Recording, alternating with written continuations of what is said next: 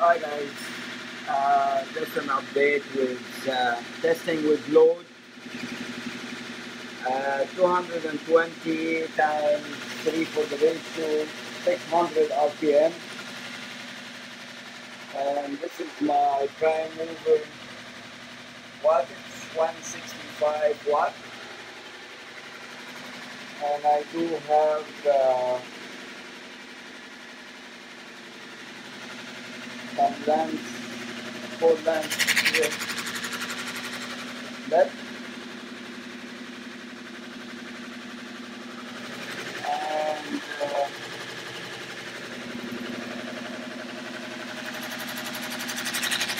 what I did is uh, I did some um, modification on the coil distribution, which uh, which makes sense, more sense now, because before it was all in series, all the coil was wired in series, which doesn't make sense.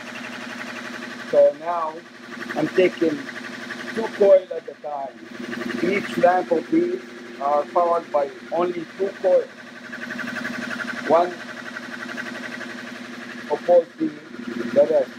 So it's 90 degrees from, a, in a straight line, you find the two coil loaded. And this is how I follow all the uh, loading.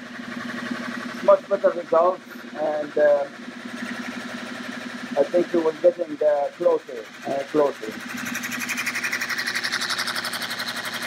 And this is exactly the new design. It's done. It's only one side. This is only one side. Next step would be to put another one on this side.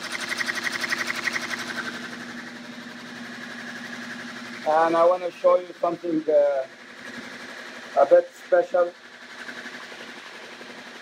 Right now, I have the uh, the prime mover at 162 watt.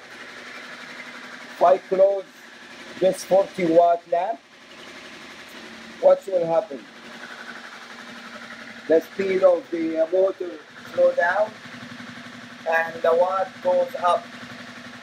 So when I put load on the uh, the prime mover, it goes faster, the motor,